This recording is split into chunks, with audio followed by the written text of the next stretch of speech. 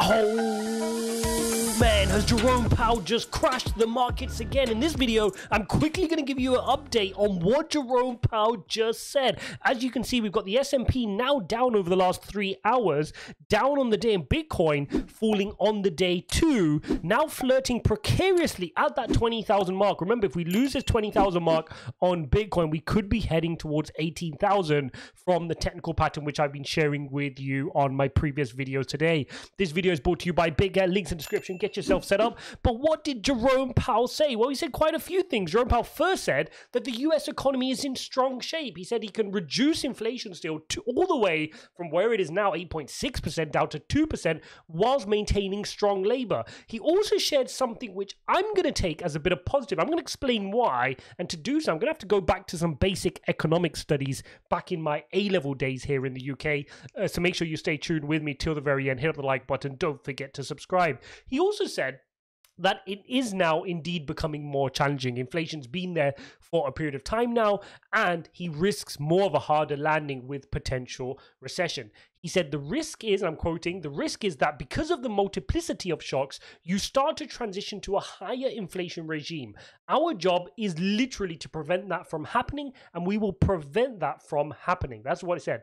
We will not allow a transition from a low inflation environment into a high inflation environment. In other words, what he is trying to say is you know, this inflation is not going to last. We're not going to let it stay one way or the other. Markets, and he's talking to markets, one way or the other, we're coming crashing back down. And what he means by that is either we're going to come down with a recession or we're going to come down without a recession. What's not negotiable is I'm not going to, just because the market's crying and in pain, I'm not going to take my foot off the gas and let inflation stay rampant. That is the message we've got from here. And obviously, the markets don't like that type of tough speak. He also said, We hope that growth will remain positive, although we saw that the GDP for Q1 was revised down from 1.5 to 1.6%, showing we were in a deeper recession than we previously thought in Q1. And he said, It is our aim, and we believe there are pathways to achieve that.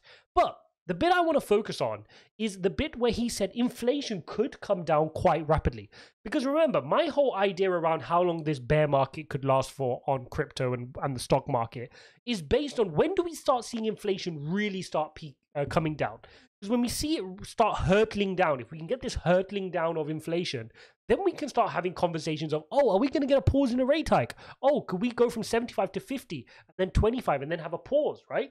This would be really, really good. And that is what's eventually going to lead us to recover on this market. And what Powell gave us a clue of is because of the vertical supply curve. He's saying because of this phenomenon called the, ver- in- the inelastic supply curve, because of that, we are in a position where we could see inflation come down quite rapidly. Now, that is a really positive sign, and I do very, very quickly want to explain how this works using some basic, basic economics. And the first thing you'll need to know is what is a basic supply and demand curve. Now, my my economics teacher is going to tell me off if I get this wrong, but in essence, you've got your supply curve, your traditional supply curve. As price increases, suppliers generally produce more, so supply will go up and to the right. Your downward sloping demand curve, as price goes up, people want to buy less. Where the two intersect is your equilibrium, and this is the price that people will pay and the quantity that will be produced by the suppliers. Okay, this is your normal functioning supply and demand curve. Now, what has happened during what we've been facing is a supply shock. We face a supply shock where you created a vertical inelastic, in other words, if for those who are a bit more familiar with economics, inelastic supply curve. That means you have a vertical supply curve because suppliers cannot produce more than a fixed amount. So Q here, suppliers are saying, regardless of how much you want to buy, we can't produce this much, right? Think of Tesla, think of the amount of iron ore available or lithium or any other supply parts which are people are struggling with right now. It's limiting supply. We have supply bottlenecks, and therefore supply sits at a vertical style supply curve like this. Now, of course, when you have a vertical supply curve, but demand increases, i.e., demand goes from demand 2 to demand 1, look what happens to price.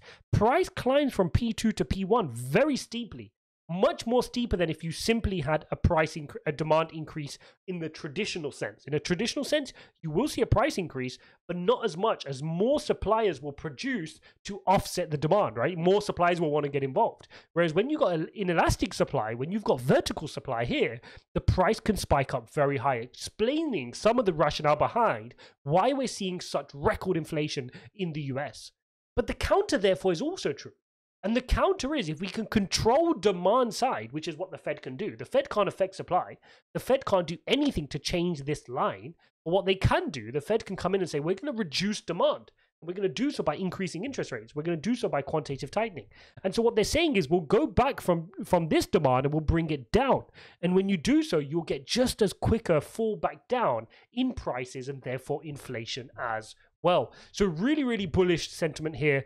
Uh, if we look at it in the right way, that maybe Jerome Powell and the Fed are getting thinking that hang on a second, we're not going to climb down in inflation in the traditional sense of how slowly you would normally go up and come down, but because we had that drastic rise up in inflation, we could see that drastic fall down. So this is really interesting, but we will need to wait for the figures to see if that happens. We need to wait for the next CPI reading. We get a PCE reading tomorrow, which we'll look out for, no doubt, cover on this channel. And then we'll see how crypto reacts because the reality is, I don't think we're going to get a sustained rally to the upside, particularly not to all time highs and create a new bull market if and until this inflation issue is resolved, if and until we see inflation really start to come down, Jerome Powell and the Fed start talking about pausing, and then markets can start to get a little bit excited again. But right now, we're still at the start innings of this. Inflation needs to come down. The Fed has a job to do. They're not going to stop until they do it. And they even said that the worst thing right now is to do nothing rather than uh, to do it and then fall into recession. In other words, they're chip committed. They're going to push on ahead. If they need to drive the economy into recession, they will do so, but they're not going to allow inflation to stay high for a long period of time. There you have it, guys. There is a quick emergency update on what Jerome Powell had to say and how the markets are reacting. Bitcoin literally just wicking now down back under 20,000 again. Will this be the the uh, straw that breaks, breaks the camel's back and finally pushes Bitcoin back down to go test those 17,600 levels again? Or will Bitcoin hold some strength? We need to monitor this over the coming hours and days. Thanks for watching, guys. Do check out BitGet. Links in description. I will be giving away free money people who sign up using my BitGet link in future episodes. Don't forget to smash up the like button and subscribe. I'll see you in the next one.